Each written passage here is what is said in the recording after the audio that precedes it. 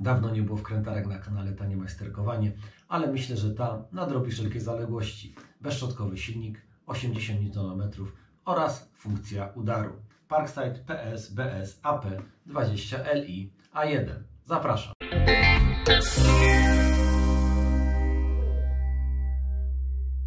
To najsilniejsza wiertarko-wkrętarka akumulatorowa, która aktualnie sprzedawana jest w Lidlu i dlatego z pewną dozą nieśmiałości podchodzę do jej testowania. Po pierwsze, nigdy nie miałem aż tak silnego urządzenia akumulatorowego, a po drugie, nie mam wszystkich akcesoriów, które umożliwiłyby przetestowanie jej maksymalnych parametrów, jak na przykład wiertła do drewna o średnicy 65 mm. Ale zanim dojdziemy do prezentacji, jak i testu, przyjrzyjmy się na początku parametrom technicznym podanym na pudełku. 5 lat gwarancji, blokada wrzeciona, maksymalny moment obrotowy to 80 Nm, maksymalna częstotliwość udaru 36 tysięcy uderzeń na minutę. Mamy dwa biegi, pierwszy od 0 do 400 obrotów na minutę, drugi od 0 do 2000 obrotów na minutę. Jeżeli chodzi o wiertła, to możemy tutaj stosować je w przedziale od 1,5 do 13 mm i za ich pomocą wykonywać otwory do 65 mm w drewnie, do 16 mm w betonie oraz do 13 mm w stali. Wiertarka zasilana jest silnikiem bezszczotkowym oraz należy do serii X20V Team, czyli jest kompatybilna z całym szeregiem innych urządzeń zasilanych baterią 20V. Producentem tego urządzenia jest firma Compernas, a w skład zestawu, który wchodzicie, wchodzi sama wiertarka i walizka bez baterii oraz bez ładowarki. Cena za ten zestaw to 349 zł i patrząc na markę, jak i na wyposażenie, wydaje się to całkiem sporo, aczkolwiek patrząc na parametry, wydaje się to całkiem mało. Tą wiertarkę możecie również kupić w bogatszym wyposażeniu z dwoma bateriami 4 Ah z ładowarką, z aluminiową walizką, ale za ten zestaw trzeba będzie zapłacić wtedy 649 zł. Nasz uboższy zestaw zapakowany jest w plastikową walizkę i w środku prezentuje się w następujący sposób.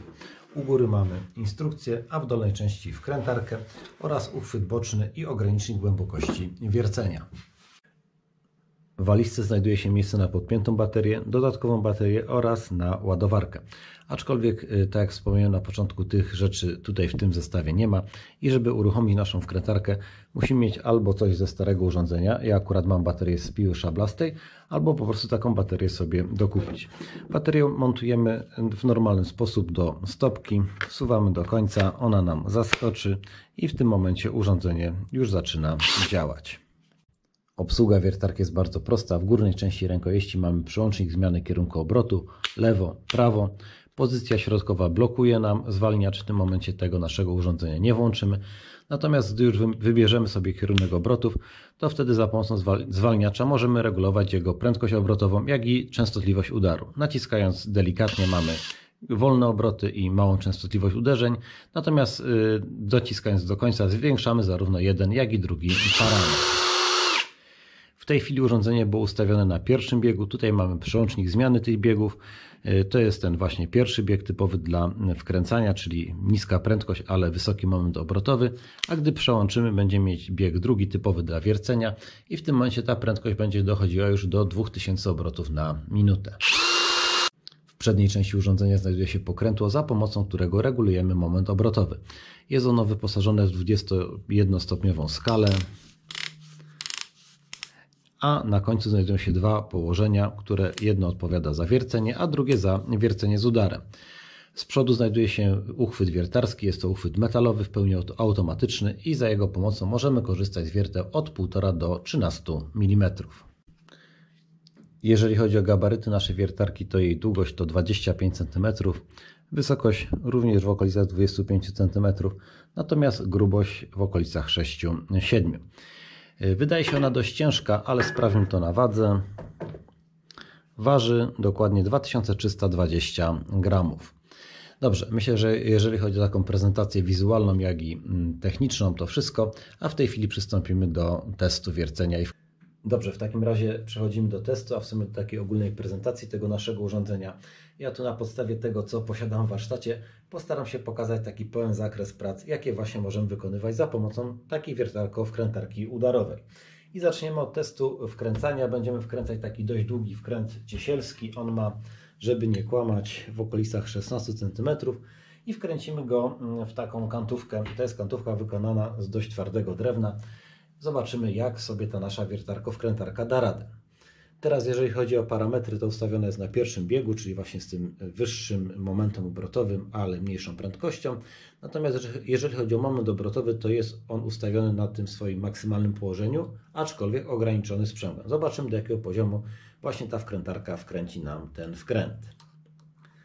Także wystartujemy o tutaj i zaczynamy.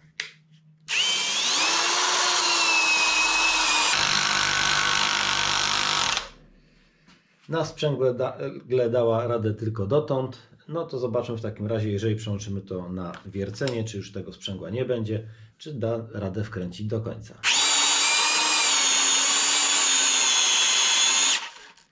Dała radę, ja zatrzymałem się specjalnie, ponieważ y, z tak silnym urządzeniem trzeba naprawdę uważać, właśnie szczególnie jeżeli nie jest zabezpieczone sprzęgłem. Po prostu gdyby ten wkręt nam tutaj dobił do samego końca, to mogłoby nam to tak szarpnąć, że jeżeli ktoś ma jakiś słabszy nadgarstek czy słabsze kości, to niestety mogłoby się to skończyć jakąś kontuzją. Dobra, w takim razie wykręcamy to z powrotem.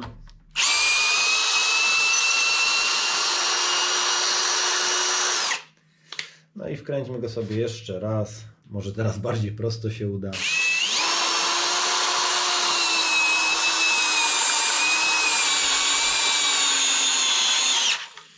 No jak widzicie, nie ma żadnych problemów. Naprawdę jest bardzo duża moc tej wiertarko-wkrętarki.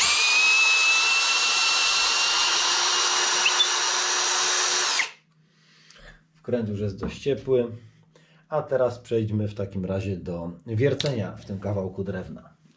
Wiercenie e, również nie będzie maksymalnym e, rozmiarem wiertła możliwym dla tej wiertarki, po prostu nawet nie mam takiego.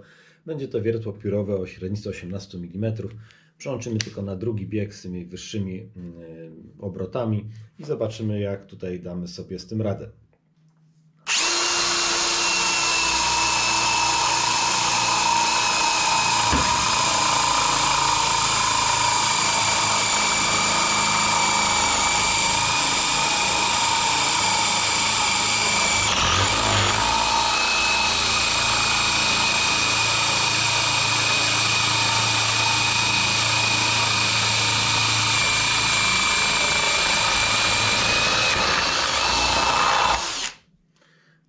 Widzicie, bez problemu.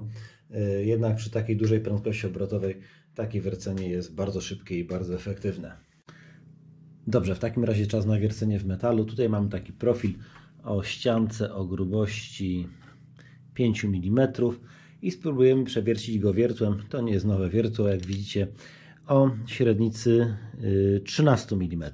Aczkolwiek, no, żeby to miało jakikolwiek sens, na początku nawiercimy go najpierw małym wiertłem, i dopiero później spróbujemy przewiercić go właśnie tym y, dużym wiertłem. To już jest tym razem maksymalny rozmiar, jak dla tej wkrętarki, bo ona właśnie do 13 mm może wiercić w metalu. Tutaj ten otwór jest zapunktowany delikatnie i ustawiony mam na pierwszy bieg z tymi wolnymi obrotami i zobaczymy jak to nam pójdzie.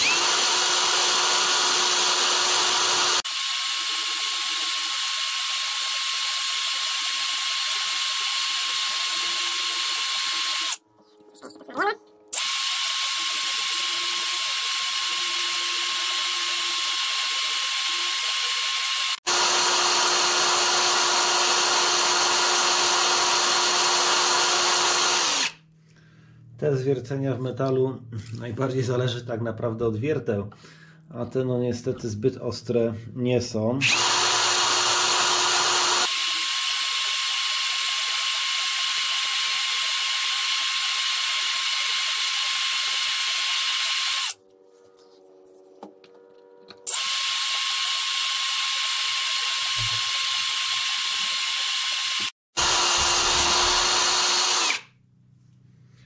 Ok, udało się nam przejść na wylot tym cieńszym wiertłem, także zmieniamy.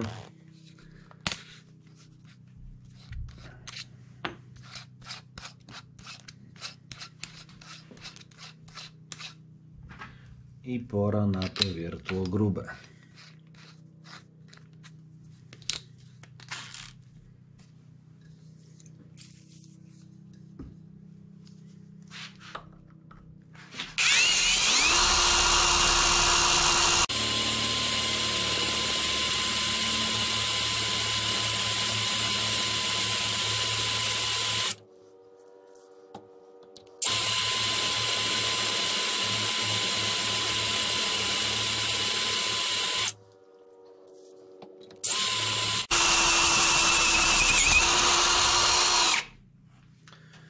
I z mozołem, i bo z mozołem, ale przeszliśmy na wylot. Ostatni test to test wiercenia w betonie, a tak naprawdę w kostce brukowej. Będziemy wiercić wiertłem o średnicy 12 mm. To jest po prostu najszersze wiertło, takie walcowe, nie SDS, które mam do betonu. No i wykona, wykonam tutaj taki odwiert próbny. Zobaczymy jak y, ten sprzęt da sobie radę. Y, włączymy drugi bieg i włączymy funkcję udaru. Ok, zaczynamy.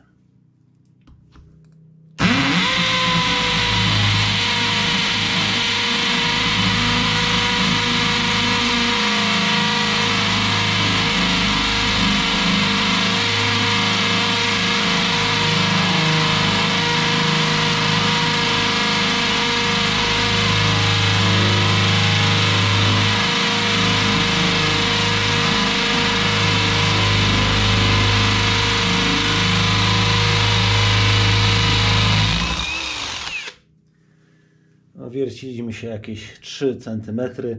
Ja już nie chcę wiercić dalej, bo tam dalej mam y, gumę. No nie chcę sobie tutaj uszkodzić tego stołu.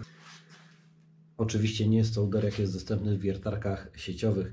To urządzenie ma jednak zdecydowanie mniejszą moc. Aczkolwiek biorąc pod uwagę fakt, że jest to sprzęt akumulatorowy i średnica tego wiertła jest naprawdę spora, bo jest to, przypomnę, 12 mm, jest naprawdę dobrze. Wcześniej testowane wiertarki akumulatorowe miały problemy, żeby tą kostkę przewiercić wiertłem 6 czy tam 8 mm. Natomiast ta daje sobie bez problemu radę i myślę, że tutaj przy dłuższej chwili, jeżeli bym na to poświęcił, to ta kostka jednak by poległa i ta wiertarka przewierciłaby ją na wylot. Czas na podsumowanie, na ewentualne wnioski, czy warto kupić ten sprzęt.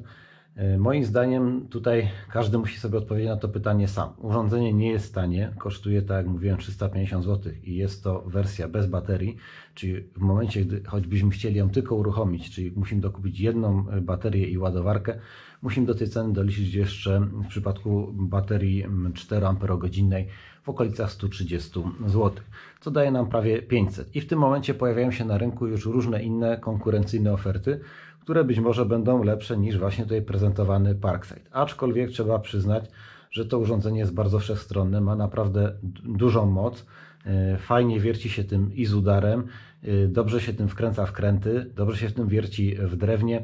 Myślę, że w metalu również, gdybyśmy mieli jeszcze przy okazji ostre wiertła. Także mm, dajcie znać w komentarzach, co myślicie o, tym, y, o tej wiertarce. Ewentualnie czekam na jakieś sugestie, jakie jeszcze testy byście chcieli zobaczyć, co ewentualnie mógłbym sprawdzić i pokazać Wam w kolejnym filmie. Ja tymczasem dziękuję za poświęcony czas. Dajcie łapkę w górę, o ile Wam się podobało i nie zapomnijcie subskrybować kanału, gdyż w niedługim czasie wrócimy z kolejnym urządzeniem bezszczotkowym firmy Parkside. Do zobaczenia, trzymajcie się.